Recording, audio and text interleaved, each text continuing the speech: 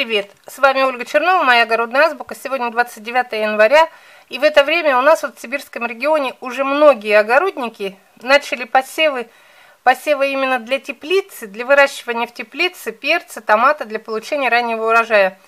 Я тоже уже сделала несколько посевов, и так как многие просят рассказать меня о дальнейших планах, когда и что я буду сеять, вот я сейчас покажу вам, я уже начала в этом году новую тетрадь, в прошлом году целую исписала. Вот у меня предполагаемый график посевов. Но, как всегда, я говорю, что мы предполагаем и могут плюс-минус 2-3 дня сместиться вправо или влево посевы. Вот 26, 27, 28 января я намечала ранние посевы перца и томатов для супер раннего урожая в теплице. Но пришлось мне колокольчик, где сейчас покажу вам, а, перец колокольчик пришлось посеять 23-го, потому что он очень быстро проклюнулся. И перцы я посеяла 25-го, на день пораньше, потому что там, ну, из-за внука. вот, наконец, января у меня было помечено два посева. Это ранние перцы и ранние томаты. Это для супер раннего урожая, то есть в маленьком количестве, не массовые. Потом, в начале февраля, у меня намечены массовые посевы. Это то есть для теплицы, те, которые позднеспелые, крупноплодные томаты, которые с длительным сроком вегетации, и перцы, которые высокорослые, которые толстостенные, которые очень-очень долго у меня спеют – если мы их в начале февраля не посеем, то они половина не вызревают. Но вот у меня тоже тут намечено или 2, 3, или 7, 8. Но это зависит только от моих личных обстоятельств, потому что 2 и 3 мы тут в кукольный театр собрались с внуком идти. Если я не успею после кукольного театра посеять, то буду сеять вот 7, 8. Мне все равно, или в выходные, или после буду сеять. Это вот который длительный период. Потом в середине февраля или 11, 12, или вот на субботу, воскресенье 16, 17 у меня намечено посевы для теплицы, но уже перцы, которые не высокорослые, не крупноплодные, а вот средние и скороспелые, все остальные. И у меня написано, что закончить перцы до 18 февраля. Мне до 18 февраля надо все перцы для теплицы посеять. Потому что я уже заметила, когда сею после 18, 20, в конце февраля – не успевают отдать весь урожай, и половину приходится снимать зелеными. Зеленые перцы мне не нужны, поэтому я вот до второй, вторая декада февраля я уже стараюсь закончить все. И для открытого грунта я начинаю только после 8 марта. Вот у меня написано, это первый посев для открытого грунта. Раньше начала марта для открытого грунта ничего я не сею.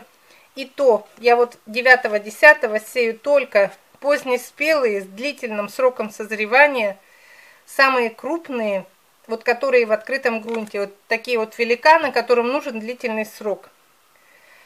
Пишу, что перцы для улицы в эти сроки я уже не сею в марте, потому что сеять бесполезно, ну зеленые будут, но некоторые сеют, можно скороспелки, вот совсем-совсем, которые скороспелые, все. И в середине марта у меня начинаются самые такие массовые посевы середине марта я сею все средние, среднеспелые, вот, ну, все середин, такие середнячки. Сею томаты в тоннеле, для продажи в тоннеле, чтобы выращивать рассаду массовая. Сею в середине марта. И для продажи, для выращивания в теплице, сею только в конце марта, иначе она перерастает. Сею 27, 28, 29, я уже говорила, могу сеять до 1 мая, и тут же, в те же сроки, когда я сею для выращивания в теплице на продажу, я сею все скороспелки, ультраскороспелки, вот конец марта, это идеальный срок, они как раз апрель и май сидят, им 60 дней в конце мая, и для них самое то. Мы их высаживаем, они моментально начинают свести, и... Но, что бы я вот здесь не написала, я в любой из этих дней, если мне захочется, я могу посеять и более рано скороспелку, могу посеять и более, более поздно крупноплодную.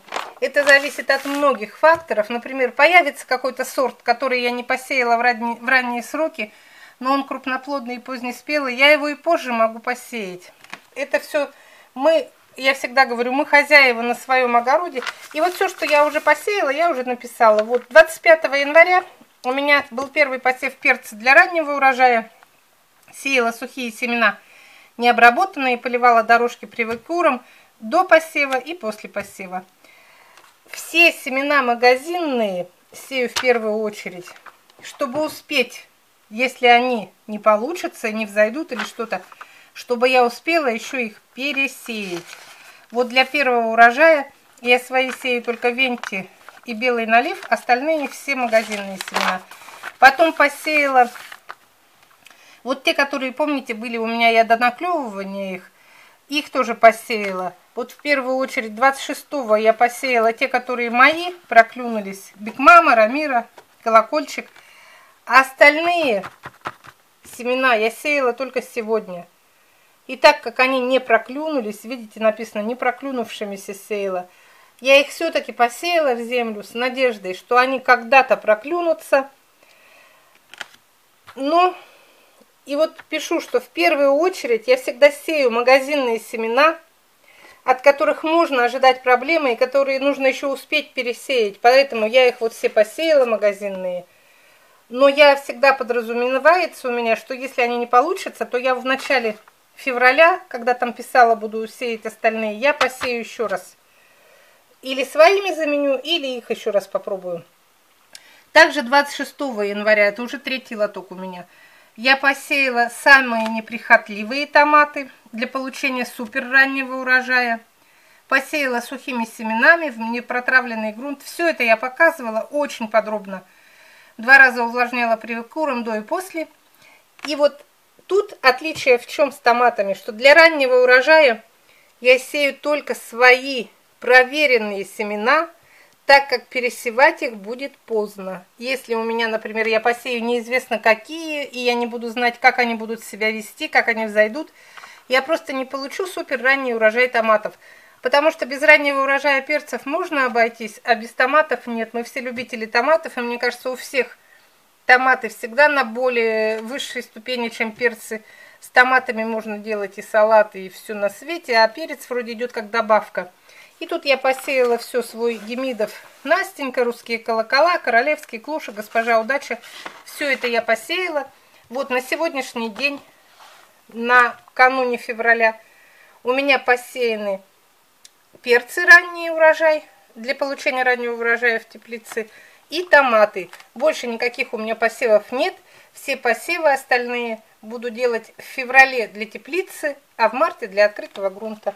Все, до свидания. Вот такой подробный график я показала и рассказала для тех начинающих огородников, которые вообще не могут сообразить, когда что сеять. Может быть, некоторые даже установили теплицу, но до сих пор сомневаются, в какие сроки сеять томаты, в какие перцы. Все, я рассказала о своих посевах, но еще раз добавлю вам, вы можете графики свои составлять как хотите – ну вот как угодно. И пока вы сами не проверите все эти даты на своем участке, на своих условиях, на своих сортах, вы все равно не найдете того варианта, как, ну никто вам не скажет такой вот золотой список, список, например, топ-5 или топ-10 сортов, которые безотказные всегда. У всех условия разные, у всех у нас подход к растениям разный. И количество времени, которое мы тратим для ухода, тоже разное. Может быть, вам подойдут одни сорта идеально, а другому человеку не подойдут. Все, до свидания. Желаю удачи в этом сезоне.